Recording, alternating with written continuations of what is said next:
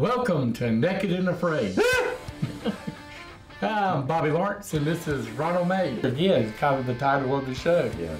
We're really before God. We're stripped naked of our self-righteousness. Yes. We're bare, naked before Yes. Him. And and are we afraid? Or are we just like, you know, well, Yes. me and him have a great understanding. you know, I, I made my peace with the man upstairs, or the old man upstairs. Uh, you know, we there's no awe of God. Right off the bat, Mark 1 and 2 say, hey, you can believe everything that you're reading to this point. So hit hit verse 3. Keep going. Keep going. All right. So it gets stickier. So, uh, see, I am sending my message, a messenger ahead of you. He will prepare the way, a voice of the one crying out in the wilderness. Prepare the way for the Lord and make his path straight. Again, this is the prophecy of Isaiah. It says, See, I am sending my messenger ahead of you. He will prepare your way, a voice of one crying in the wilderness. Prepare the way for the Lord and make his path straight. John came baptizing in the wilderness and proclaiming the baptism of repentance for forgiveness of sins. Yeah. So, one big thing I've seen here, because we're reading the Bible, Yeah. is the King James in verse 2 just says, as it was written in the prophets. Your Bible, which, which translation is that This is the C, uh, CBA, uh, what is it? New Christian Standard. Sorry. Okay. Yours specified Isaiah the prophet. Well, guess where that verse that you just read came from? It came from Isaiah 43 through 5. So that, if it wasn't in the original, if it didn't, if it just said the prophets, Yeah. all your Bible do it is doing is clarifying where to go to get that Isaiah 4, 43 through it. I 5. didn't even have to go reference or nothing.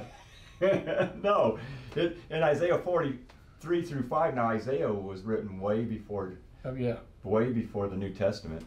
Um, the voice of him that cries in the wilderness, prepare ye the way of the Lord, make straight in the desert a highway for our God. Every valley shall be exalted, and every mountain and hill shall be made low, and the crooked shall be made straight, and the rough place plain. Now, you got to think of this. John the Baptizer, John the Baptist, is is who we're talking about. He is hitting that just right on the tee. It's not all Finney. I mean, it was prophesied. How long ago was that? Yes. Thousands of years or Yes. thousand years? and the glory of the Lord shall be revealed. And what did John say? We're going to get into it. Behold, the Lamb of God. The Lamb of God. So we're not even. He, this part of the prophecy hasn't come true yet. Um, and the glory of the Lord shall be revealed, and all flesh shall see it together, for the mouth of the Lord has spoken it. Now, the amazing thing about Mark, let me tell you the reason I like Mark the most. You know, he was the simplest of all the guys. He wasn't a doctor. Luke was a doctor. Luke, if you read the Gospel of Luke, he gets into colors and everything, the smell, the taste, everything. Uh, all, all the other is really comp. Here's Mark, just a simple man. And he's just telling you, he's giving you the redneck version of the gospel uh, right here so Bobby can understand it. I, you know, I get lost over there in Luke and so, and not saying Luke's bad. You need to read, Luke, but this helped me so much more understand. And and and every time I do read this, I realize what man, there's a lot I don't know. Yeah. As many times as I've read, and I have read the book of Mark, I don't know how many. There, every time I read it, I find out, man, you know, I'm not very smart. I'm really not that smart. Okay, verse 4. John came baptizing in the wilderness and proclaiming the baptism of repentance for the forgiveness of sins. The whole Judah, or wait a minute, I'm kind of lost my place. The whole Judean countryside and all the people of Jerusalem were going out to him, and they were baptized by him in the Jordan River, confessing their sins. John, well, wait a minute, let's just stop right there. Okay. Now, how did they know to confess their sins? how did they know this was the real deal? John came baptizing in the Yeah, but wait a minute. Where did they baptize in the Old Testament?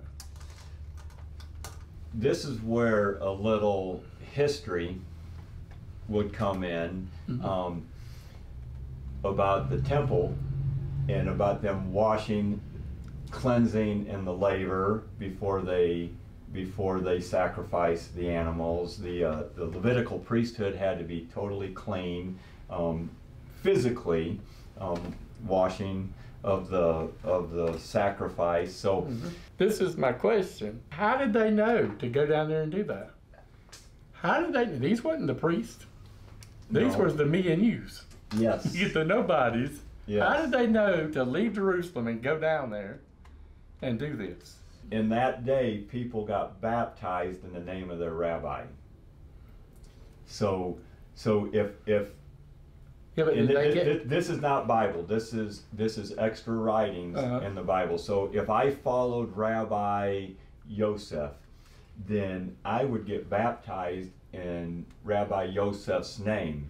But but wait a minute. I'm, I'm lost here. Yes, Where in the Old Testament did bapti- Well, that- baptism start? They got it through the cleansing At the of the. Levitical tribes.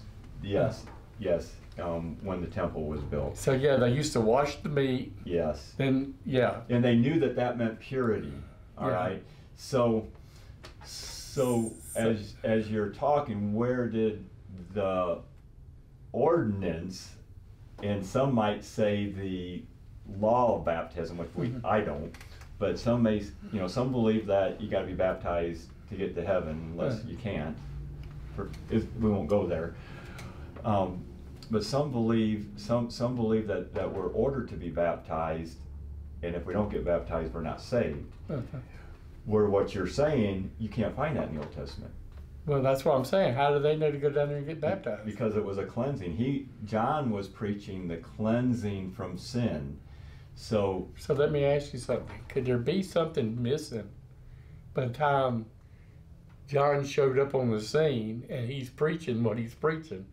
Could there have been a time that he was teaching that hey, here's what's coming? oh yeah, I believe I believe John was. So it makes me wonder. That's my question all the time when I get here. Is I'm like, now wait a minute. There's something missing because in the Old Testament they wasn't baptizing. I understand the Mhm. washing and all that later on down the road how they got off, but right here, I so I'm thinking something had to happen in between here for people to really understand because.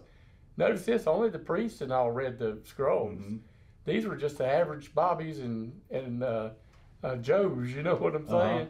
So um, somehow they had to know to come down there and get back. So I'm thinking maybe John must have done some teaching or something that they understood what was really going on. Because actually, in the prophecy, it don't talk about him coming baptizing, does it? I'm trying to think if it does or not. I don't And- think it and I- does. I, I, don't think So there so. had to have been somebody teaching. It wasn't unless just supernaturally God drew them, and not to create more confusion or arguments. Mhm. But those are the kind of things I wonder about sometimes.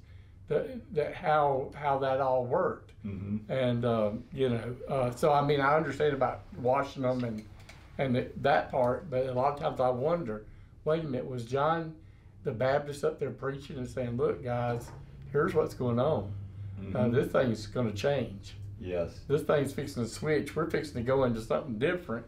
In fact, we're going to start washing you, but that's not to crucify or to burn you up or anything. Uh, but it, it, might- there, there has to be something left out, not intentionally because of the mystery of the gospel. It talks about the mystery of the gospel. So a lot of this is a mystery. Some of it's language, but but I always wonder to wonder about stuff like that. So later on in Acts, when we when we read in Acts, we'll get a group of people who had John's, which we'll get into this in Mark. We won't we won't follow that trail, I don't think. But there were some people who were getting bap they were baptized in John's baptism, Right. but they did not know of the baptism of the Holy Spirit. right. And so what you're saying is that you know John had followers. In fact, Yeah. Oh, Jesus yeah. John was still baptizing when Jesus was preaching, and they Mm-hmm. and they even tried to bring Jesus against John. Yeah. Oh and, yeah. and So we go back to this unity thing. Yeah. Wouldn't that have been a prime time for Jesus to say, John doesn't know it all?